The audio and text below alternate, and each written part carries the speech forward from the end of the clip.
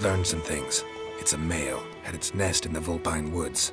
The Nilfgaardians burned the woods down, killed its mate, smashed their eggs. Thought they'd fixed things. Hmm. It's always the same. Instead of sending for a professional, they try to do it themselves, only end up making matters worse. Got the buckthorn. Ought to work like a charm. Powerful scent. More like stench. City boy. Rotting meat, manure, piss, standard smells of the countryside. Remember Tretogor? Hunting that Zeugl in the trash heap? You spent half the next day bathing, scrubbing yourself. How can I forget? You ever gonna stop bringing that up? Fine. If everything's ready, say the word and we'll get to work.